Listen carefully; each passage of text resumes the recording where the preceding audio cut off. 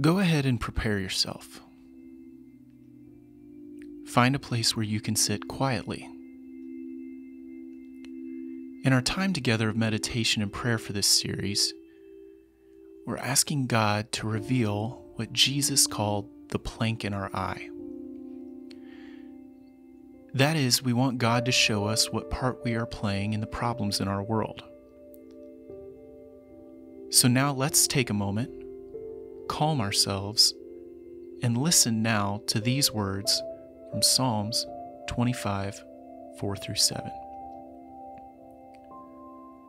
Show me the right path, O Lord. Point out the road for me to follow.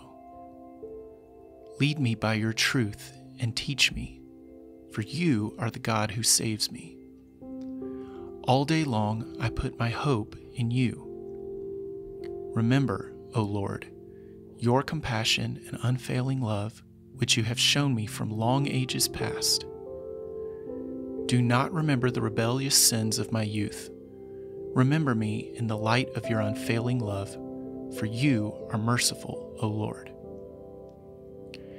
Here is our truth for today God has compassion and unfailing love for us. He has compassion and unfailing love for you.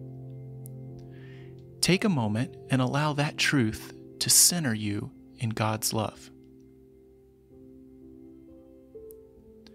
Now, because that is true, we can come to God with no fear and look clearly at where we have gotten off of His path because He is not condemning, we can ask Him to show us our faults and to point us to the road we should follow. God, we ask you right now, in light of your great love for us, to show us where we have put our point of view and our politics in front of our faith in you. Show us the right path to take.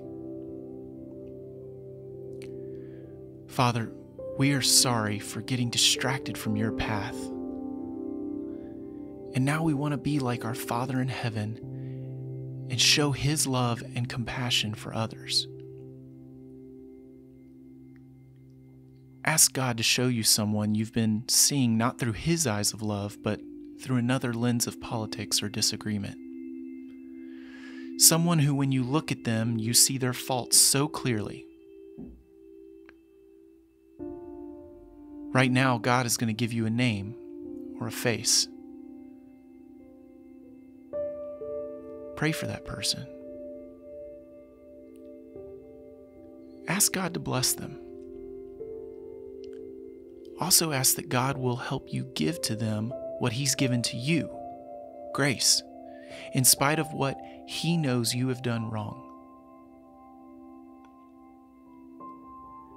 Ask God to help us to grant them love and acceptance, even if we disagree, just as He's offered those to us. Ask God to help you not focus on the speck in their eye until you've completely removed the plank from your own eye.